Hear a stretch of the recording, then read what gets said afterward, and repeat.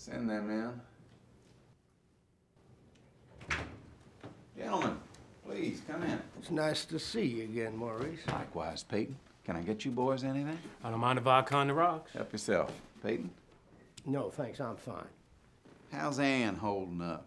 Well, she's tougher than you'd imagine. And the little fella? He's withdrawn. I think she's going to get him some counseling. Well, that's wise. Tough on a child, tragedy like that. So, we need a candidate for the governor of this state, don't we, Trip? Well, the beauty of it is, is that we won't have to throw out any of the bumper stickers. 'cause we're practically interchangeable. Nah, that's not entirely true. Your brother was a skilled politician.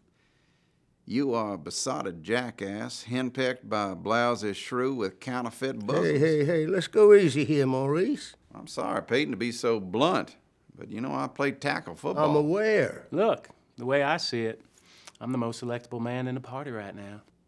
I'm not worried you won't be elected. I'm worried once you are elected, you'll bollocks things up so badly the party will be out of favor for 12 years. Well, you got to give me the benefit of the doubt. No, I don't.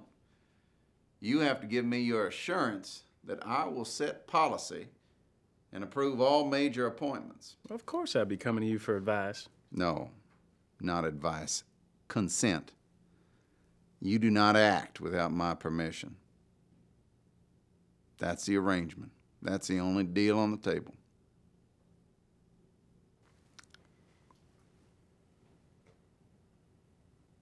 Well, gee, I think I could live with that. No, you can't.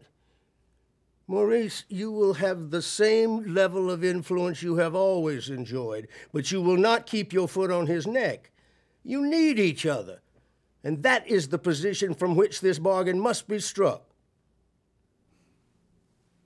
All right, Peyton. Trip, I'm ready to shake hands with the next governor of the state of North Carolina.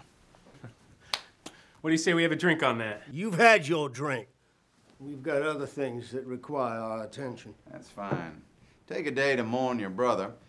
Tomorrow I'll put you with some handlers at 7 A.M. a.m.